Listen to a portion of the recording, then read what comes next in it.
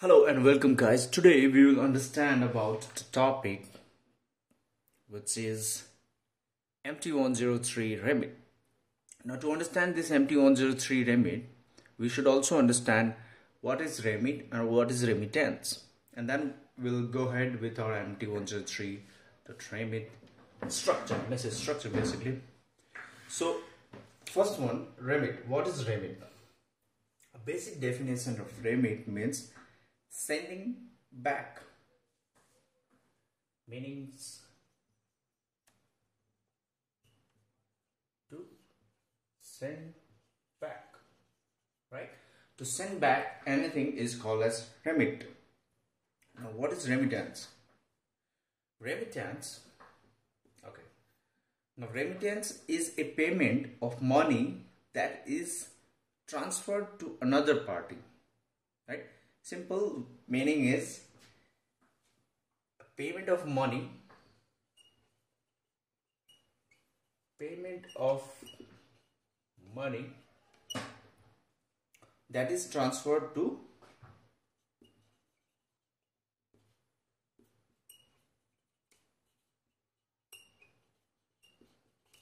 that is transferred to another party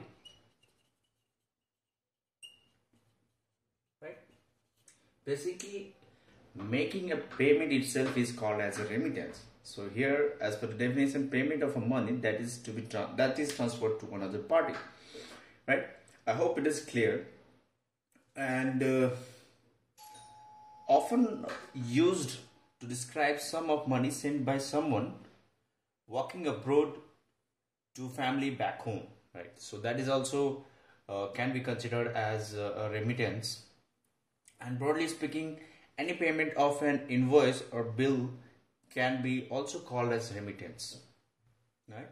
Any payment of invoice or bill uh, can also be called as remittance right? So these are the basic definition of a remit and remittance. Now the, another aspect of the mt103 remit is what we need to understand in terms of the message structure.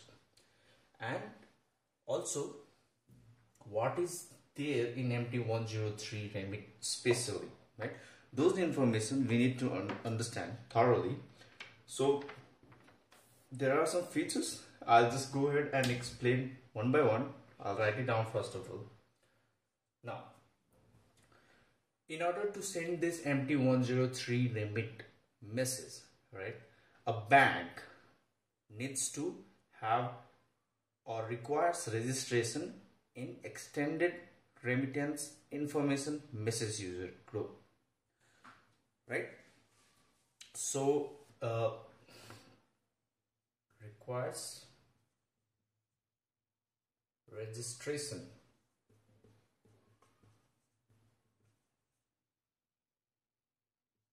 In extended remittance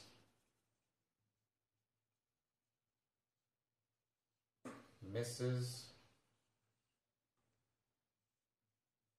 User group. So this group particularly, right? This Mrs. Uh, user group, extended remittance Mrs. User group basically is a closed user group, right?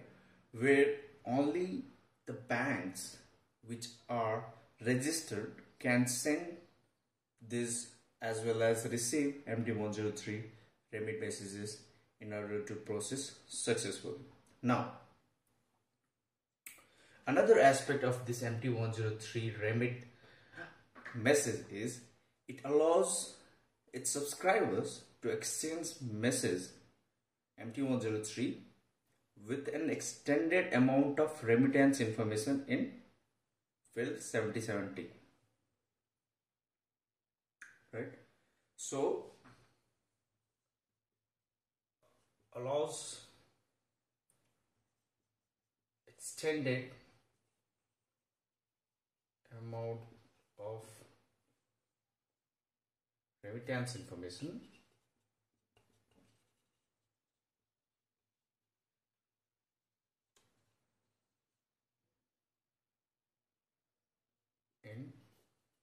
field 77 T. Now 77 T is what? Regulatory reporting tag.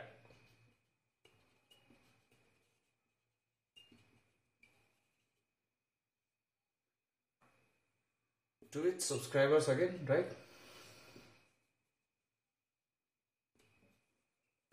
So this is the next feature of this MT103 remit. Next one is there is no field there is no tag 70 right which is the remittance information in normal MT103 alright. So this is the third feature. The fourth one is and very important one this one right? User header block must have user header block must have let's say it is block 3 starts with 119 and then this part it should be remit. Then only it will be considered as remit mt103 remit right all right so these are the main features of the remit mt103 remit right? And coming to um, coming to the uh, tags wise right? Mandatory tags. Mandatory tags it will have all those mm, uh, tags which are available in normal MT103 for example 20 23B 32A 50 um okay right uh, 59 or whatever right? And then um, again 71a details of charges right? Here generally 70a these are the mandatory tracks right? And optionally optionally we generally used to have 70 in the tag remittance information but here in mt103 remit there won't be available right? So here we, we use we would use 77T so this is the this is basically uh, specifies it basically specifies the codes for the statutory and or regulatory information right? Uh, required by the authorities in the country of the sender or receiver. So let's understand this uh, within structure wise let's go ahead and understand this with structure wise.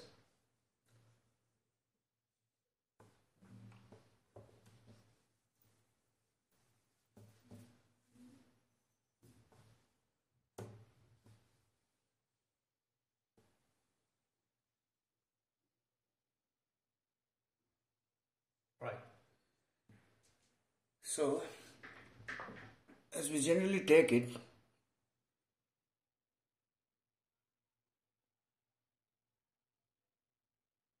as we generally take it uh, with an example. Let's take an example a simple one. From wants to send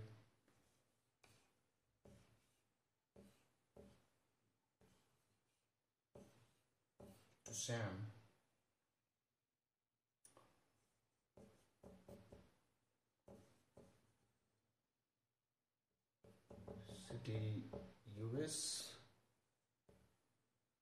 CBLIN. Right? So if he wants to transfer a fund, then uh, if MT103 remit message has to be used, where actually the regulatory statutory reporting has to be done and in that case i mean if, if regulatory reporting has to be done at the country india or uh, us then the message mt103 remit should be sent to the Citi us and in, in that all those information uh, would be available. Let's, let's let's get started with the message structure now. Let's start creating the message now. Block one. Okay. And okay, okay f01 will use this scblin triple x and block 2 we are using um, mt103 and uh, and basically uh, it will be right? It is um, before that it is i103 and then receiver Citi us 33 triple x block 3 119 here we have to use remit and followed by some other stuff block 4 right? So we will have tag 20 transaction reference number right? We have uh, 23b bank operation code 32a we know that it is validated currency and the amount interbank settlement amount. Then we have the 3b exchange rate 36 sorry 33b is instruction number 36 is in uh, exchange rate. And then 50k uh, which is our in customer details 57a uh, account institution basically Citi us 33 x 59 is final beneficiary let's say sam right? Sam and the account number and those information. And then we have 71a this uh, charge details let's say it is 7 71f let's say 10 usd 10 and then we have now remember as I said for the remittance since it is MT103 remit right it will not use tags 70 it will not use tags 70 and uh, let's uh, in this case we have tags 77 now tags 77 is very 77t perhaps right? 77t it will have. Now 77t I'll just explain in this column. 77t right? It will be basically 3 into 35 character. Now 77t if it has to be there right? Now how would they define it right? 77t now 77t first of all let's understand what is 77 uh, or 77 uh, so it is for regulatory reporting.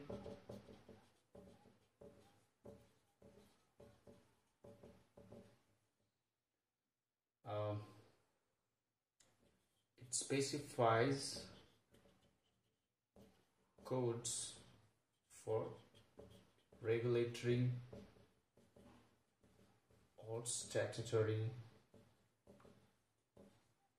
bodies.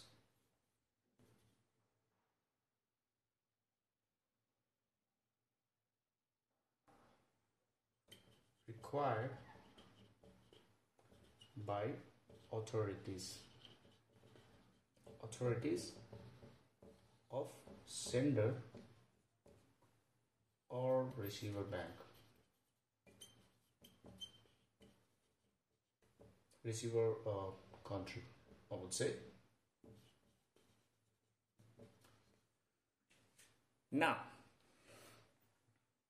uh, for example uh, let's take one example 77 t um, let's say if it is sending the CBL IN is sending then in that case let's say it is order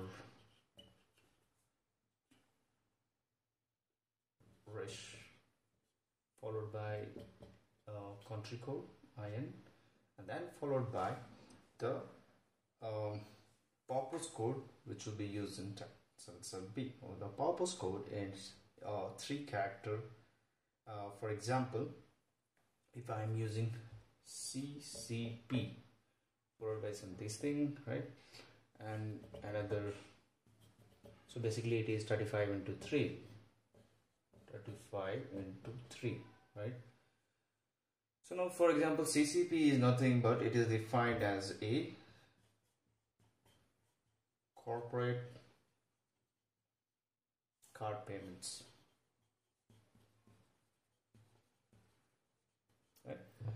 so if it is use CCP and then if it has to be sent to the regulatory bodies and then they will identify with these tags and then necessary uh, reconciliation would be done at bank level and the respective uh, system level right? That is a separate topic altogether but there are like so many other purpose code in tags 77b which they can use. For example as I said CCP is a, a corporate card payment. Uh, if it is a bonus let's say if it is bonus it will be bon bon uh, if it is uh, let's say salary then sal right? So this is salary and so on. There are like so many more than uh, 50 uh, purpose codes available for the tags 77 so this is all about the mt103 remit and thank you for watching this video